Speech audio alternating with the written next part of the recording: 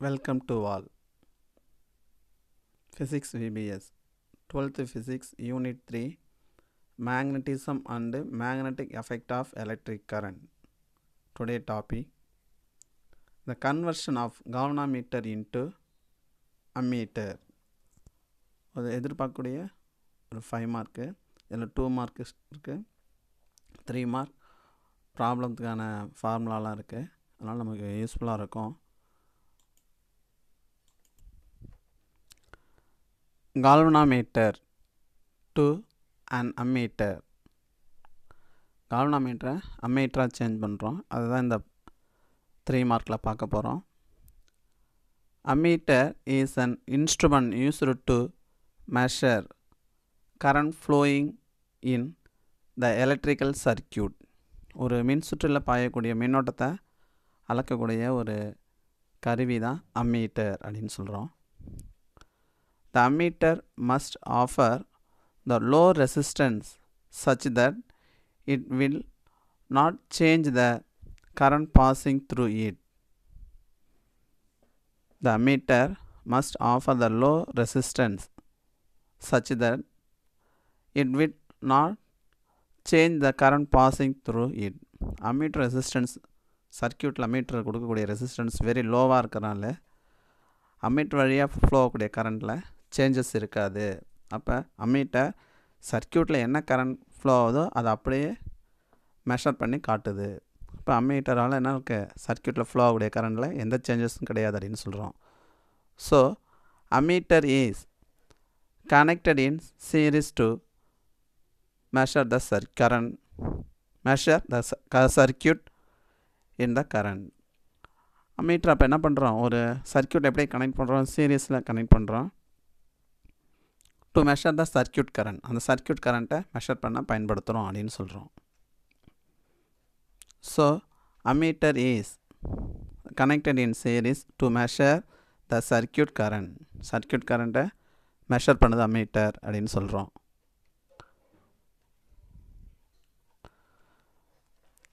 இப்போ அதனுடைய டயக்ராம் பார்க்க போகிறோம் அமீட்டருடைய டயக்ராம் பார்க்குறோம்.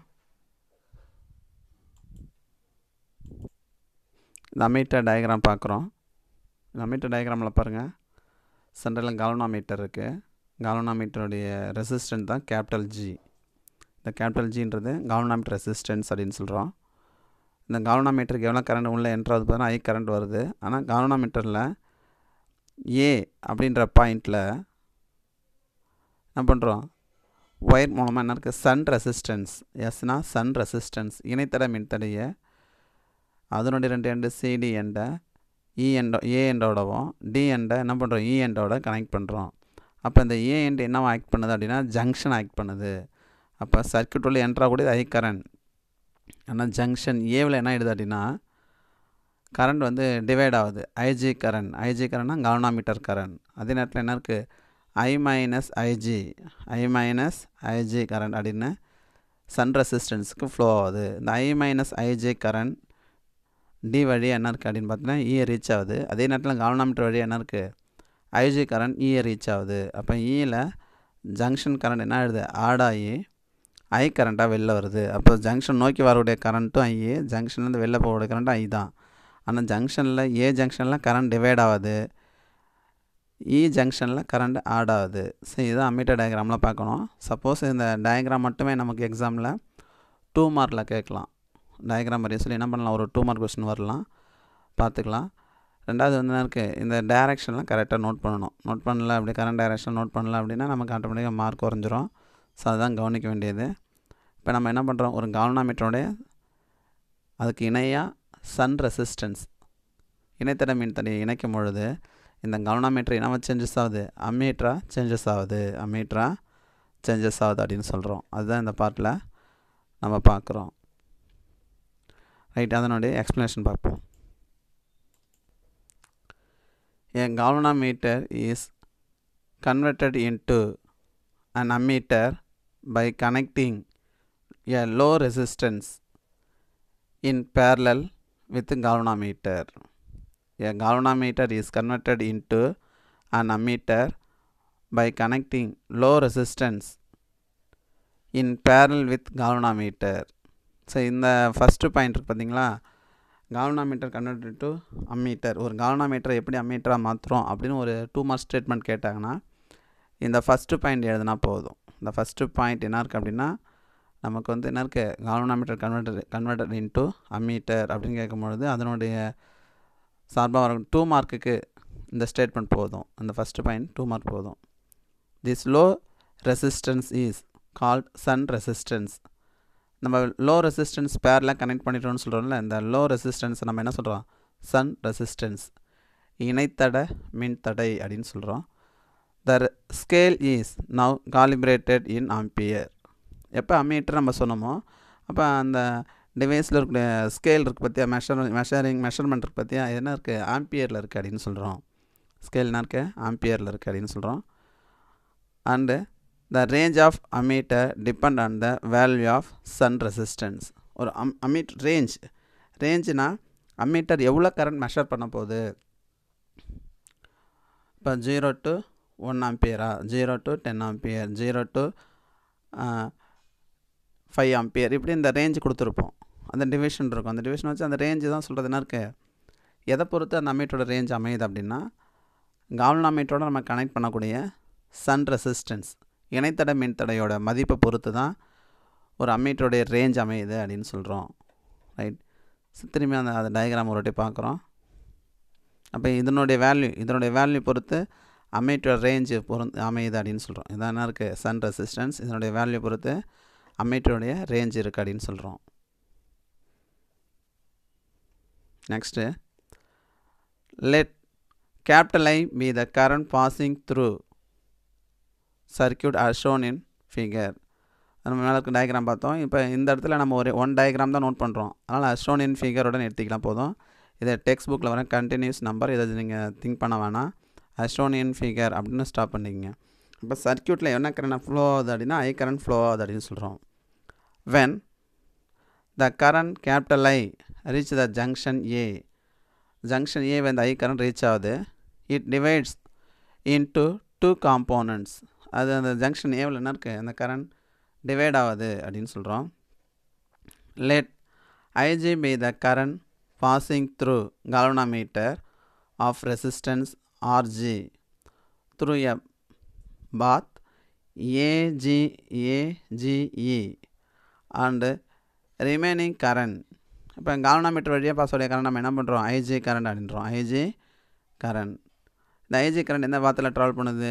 Junction A G galvanometer E e end இதை நோக்கி இந்த லைனில் ட்ராவல் பண்ணுது அப்படின்னு சொல்கிறோம் இந்த remaining current I minus IG galvanometer எவ்வளோ கரண்ட் பாஸ் ஆகுமோ அந்த கரண்ட் என்ன பண்ணுறோம் total current I current minus பண்ணுறோம் அதான் remaining current pass along the path ACDE அப்போ ஐ மைனஸ் ஐஜி கரண்ட் இந்த டைரக்ஷனில் ட்ராவல் ட்ராவல் பண்ணுது அப்படின்னா ஏசிடிஇ e. இந்த டைரக்ஷனில் ட்ராவல் பண்ணுது through the shunt resistance S shunt resistance நம்ம என்ன சொல்கிறோம் எஸ் அப்படின்னு சொல்கிறோம் சன் ரெசிஸ்டன்ஸ் அப்படின்னா இணைத்தடை மின்தடை.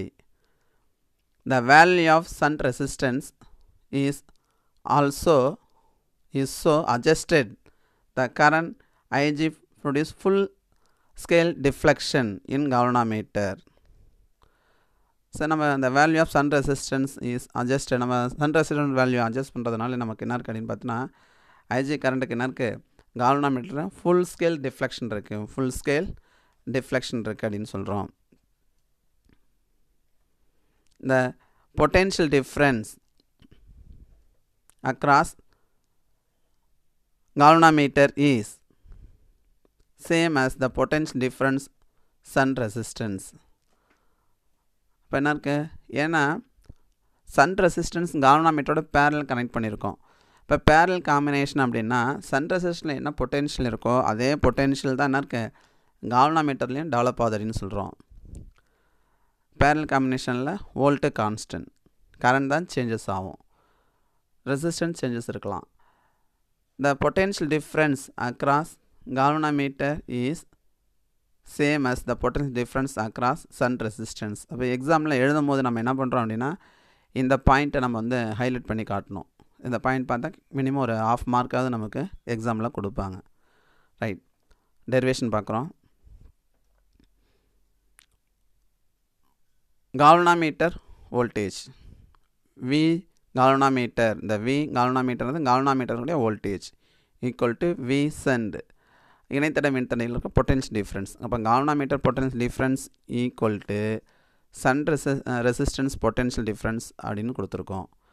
ரைட் அப்போ பொட்டன்ஸ் டிஃப்ரென்ஸ் தான். அப்போ ஓம்ஸில் யூஸ் பண்ணி என்ன இருக்குது அதனுடைய வேல்யூ அப்ளை பண்ணுறோம் ஐஜிஆர்எஸ் இப்போ ஓம்ஸில் என்ன இருக்குது வி ஈக்குவல் டு ஐஆர் அப்படின்னு சொல்கிறோம் அப்போ கால்வனாமீட்டருடைய current IG galvanometer resistance RG அப்படின்னு சொல்லிடுறோம். இப்போ என்ன இருக்குது ஐஜி ஆர்ஜி ஈக்குவல் டு இங்கே சன் ரெசிஸ்டன்ஸ் பார்க்கணும். சன் ரெசிஸ்டன்ஸ் கர current into shunt resistance value இப்போ I minus IG into S இப்போ நமக்கு சன் ரெசிஸ்டன்ஸ் தான் வேணும். அப்போ நமக்கு எஸ்ஸை வச்சு நம்ம பண்ணுறோம்? ஐ மைனஸ் ஐஜி இங்கே டிவைட் கொண்டு வரோம். இப்போ S equal to IG divided by I minus IG into RG அப்படின்னு சொல்கிறோம். இது சன் ரெசிஸ்டன்ஸ் வேல்யூ ஆர் நமக்கு கரண்ட் வேல்யூ வேணும். ஐஜி கரண்ட் வேல்யூ வேணும் அப்படின்னா நம்ம என்ன பண்ணிடுறோம் அப்படின்னு பார்த்தீங்கன்னா இங்கே அப்படியே வேல்யூ கொண்டு என்ன கொடுத்துருக்கோம் பாரு? IG equal to S divided by S plus RG I அப்படின்ற எஸ் டிவைட் பை ஆர்ஜி இது ரெசிஸ்டன்ஸ்க்கான வேல்யூ இருக்கும் இங்கே என்ன இருக்கு கரண்ட்டுக்கான வேல்யூ எழுதியிருக்கோம் அப்படின்னு சொல்லியிருக்கோம் அந்த இடத்துல. நெக்ஸ்ட்டு அதனுடைய அடுத்த ஸ்டெப் பார்க்குறோம். Since the deflection in galvanometer is proportional to current passing through it the deflection in galvanometer is proportional to current passing through it. இப்போ galvanometer டிஃப்ளெக்ஷன் எப்படி இருக்குது அப்படின்னு பார்த்தீங்கன்னா சர்க்கியூட்டில் ஃப்ளோவுடைய அந்த இடத்துல ஃப்ளோவுடைய கரண்ட் galvanometer வழியாக பாஸ் ஆகுடைய கரண்ட்டுக்கு டைரக்ஷனல் ப்ரொபோஷனல் இருக்குது அப்படின்னு சொல்லுவோம். டைரக்ஷனல் ப்ரொபோஷனல் அப்போ deflection is directly proportional to current அப்படின்னு சொல்கிறோம் அதுதான் நம்ம எப்படி இருக்கோம்? The deflection in galvanometer is proportional to current passing through it இதுக்கு கண்டிப்பாக என்ன இருக்குது ஒரு ஆஃப் மார்க்காக எதிர்பார்க்கலாம். இதில் இந்த வேர்டெலாம் இம்பார்ட்டன்ட் லைன்ஸ் இதை மிஸ் பண்ணக்கூடாது.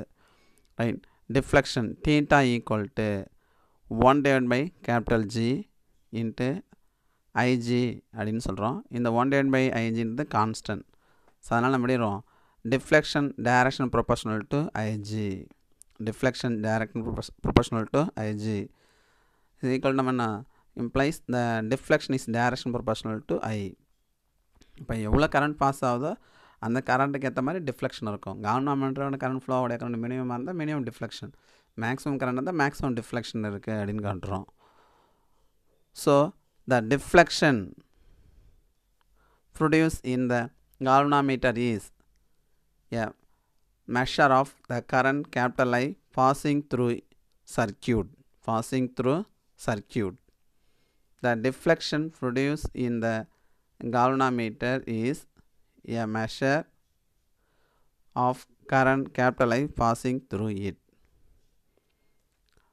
the deflection produced in galvanometer galvanometers உடைய deflection is measure the current measure of the current capital I passing through it எவ்வளோ கரண்ட் பாஸ் ஆகுதோ அதுக்கேற்ற மாதிரி என்ன இருக்குது அது டிஃப்ளெக்ஷன் அப்போ டிஃப்ளெக்ஷன் எந்த அளவுக்கு அதிகமாக இருக்கோ அந்த அளவுக்கு அதிகமான கரண்ட் ஃப்ளோ ஆகுது அப்படின்னு சொல்கிறோம் the shunt resistance is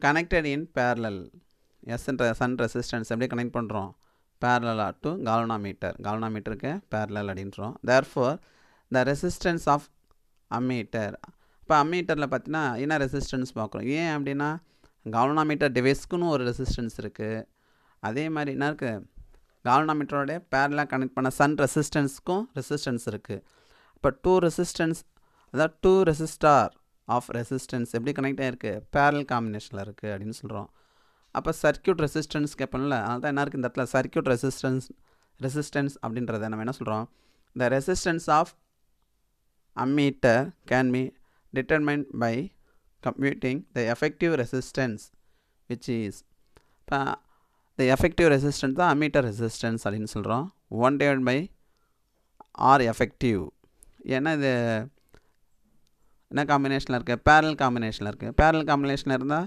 காம்பினேஷனில் ரெசிஸ்டன்ஸ் நம்ம என்ன பண்ணுறோம் ரெசி ப்ரோக்கரில் சொல்லுவோம். One divide by R effective equal to one divide by RG இந்த ஆர்ஜின்றது galvanometer resistance plus one divide by S இப்போ இதை இதை சால்வ் பண்ணும்போது நம்ம என்ன பண்ணுறோம் இந்த இப்போ ரெசிப்ரோக்கல் ஆர்ஜி இருக்குது இந்த ரெசிப்ரோக்கலை கேன்சல் பண்ணி பார்க்கும்போது நமக்கு என்ன இருக்குது ஆர் எஃபெக்டிவ் ஆர் எஃபெக்டிவ் இங்கே ரெசிப்ரோக்கில் இருக்குது இங்கே ரெசிப்ரோல் கேன்சல் பண்ணுறோம் கிராஸ் மல்டிப்ளிகேஷன் பண்ணி நம்ம என்ன பண்ணுறோம் ஆர் எஃபெக்டிவ் ரெசிப்ரோக்கிலேருந்து ஆர் எஃபெக்டிவாக கொண்டு வரோம்.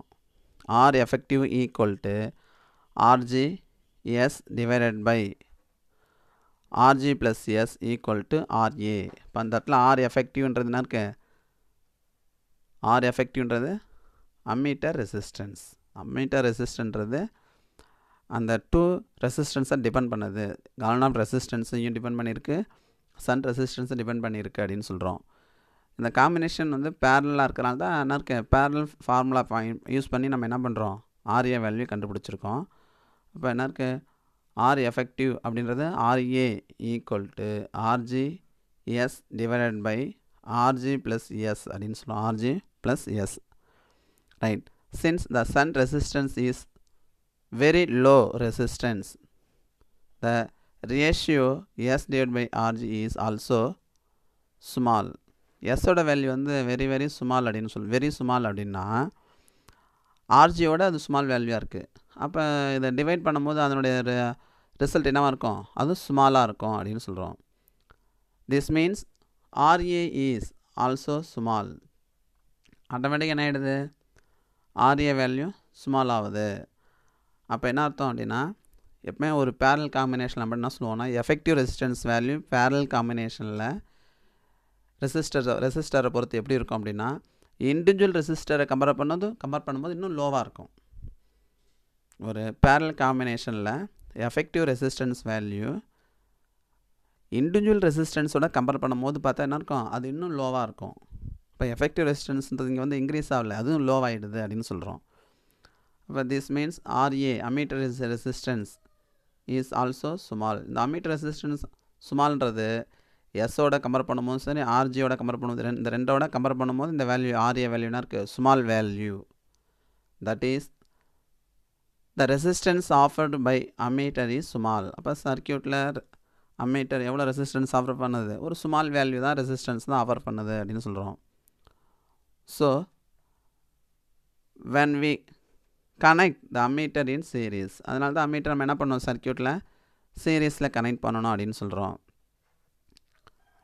the ammeter will not change appreciably Emily the current in the circuit ammeter இன்னும் சர்க்கியூட்டில் ஃப்ளோவுடைய கரண்ட்டை பெருசாக சேஞ்சஸ் பண்ணாது. எந்த சேஞ்சஸும் பண்ணல அப்படின்னு சொல்கிறோம் ஏன்னா அதனோட வேல்யூ அதனோட ரெசிஸ்டன்ஸ் வேல்யூ லோவாக இருக்கிறனால அம்மீட்டர் என்ன சர்க்கியூட் ஃப்ளோ ஆகக்கூடிய கரண்ட்டில் சேஞ்சஸ் பண்ணல அப்படின்னு சொல்கிறோம் for and ideal ammeter the resistance must be equal to zero இப்போ அமீட்டர் நம்ம வந்து ஐடியல் அமீட்டராக திங்க் பண்ணால் அதனுடைய ஆர்ஏ வேல்யூ நம்ம இருக்கும்? ஜீரோவாக இருக்கும் அப்படின்னு சொல்கிறோம் இப்போ அந்த ஐடியல் அப்படின்றது நம்ம திங்கிங்லாம் சொல்கிறோம் பட் ப்ராக்டிக்கலாக பார்த்தா எல்லா டிவைஸ்க்குமே ஒரு ஸ்மால் ரெசிஸ்டன்ஸ் இருக்கும்.